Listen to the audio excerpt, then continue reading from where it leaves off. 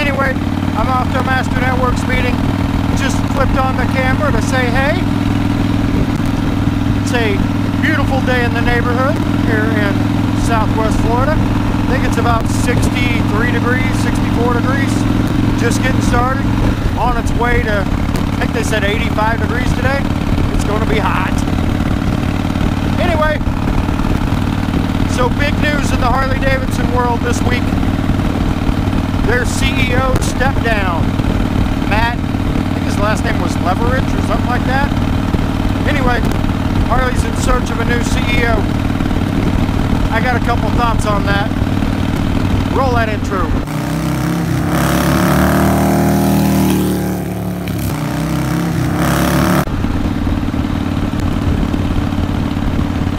Alright guys, so first things first, if you like watching videos that involve motorcycles, that could be riding motorcycles, looking at motorcycles, talking about motorcycles, fixing motorcycles, be sure you hit that subscribe button.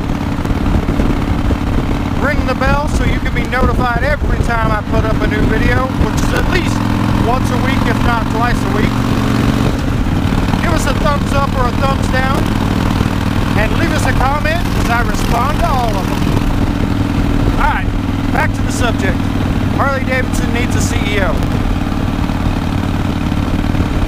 I've been reading a lot about people's thoughts on this on the internet. And what I keep hearing is, I hope the new CEO lowers the prices of their bikes. I can almost, almost guarantee you that no matter what CEO they get, the prices of the bikes are not going to go down. You don't see the prices of a new Ford F-150 going down, do you? They're going to continue just like they are. Now, what they could do is they could add to the value. So they could add some performance upgrades, maybe change the suspension, do some of the top five things that everybody does after they buy their Harley and make that part of the package. That they could do.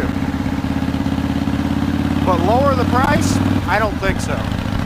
Now they might create some bikes like they just released the Softail Standard this week, um, which is basically the Street Bob with a couple of cosmetic changes. And it's a thousand dollars, I think it's about a thousand dollars less than um, the Street Bob. So for everybody that's been wanting a cheaper bike, there you go. So they've done a few of those where they strip down where they strip down the bike and make it cheaper. But I wouldn't count on them to go in and go, oh, the Street Glide Special is now $2,000 cheaper. I don't see that happening, ever. I don't know what the hell's going on up here, but damn it.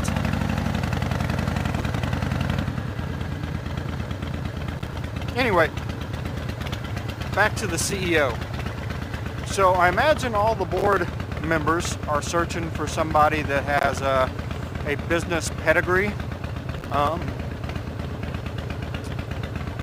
and I get that, right? They need somebody to run the business side. But that person also needs to be a, a motorcycle enthusiast, a biker, um, somebody that rides, somebody that understands the brand, the culture, Harley Davidson as a whole. And that might be a tough find. So my thought on that is, I think they should take the CEO role and split it in half. So then they can hire their well-polished, well-groomed business guy, and then they can hire their bike guy.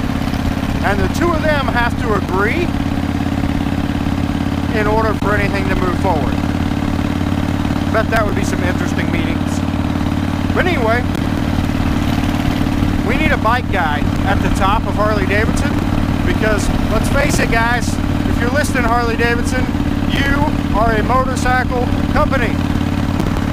You need somebody that actually knows something about motorcycles, riding motorcycles, the culture around Harley Davidson to run your company. Or at least run half your company. That way you can get the best of both worlds. You can get your biker with all of his input, and then you can get your business tycoon with all of his input.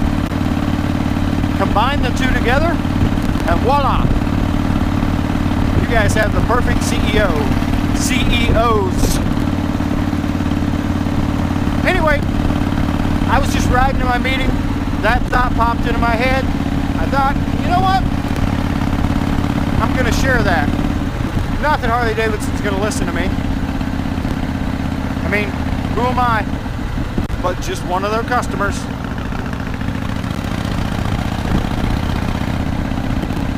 That talks to other ones of their customers.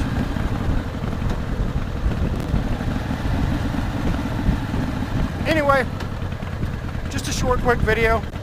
I don't know what I'm going to call this yet. Anyway, guys, remember, it's not about the destination. It's all about the ride. See ya.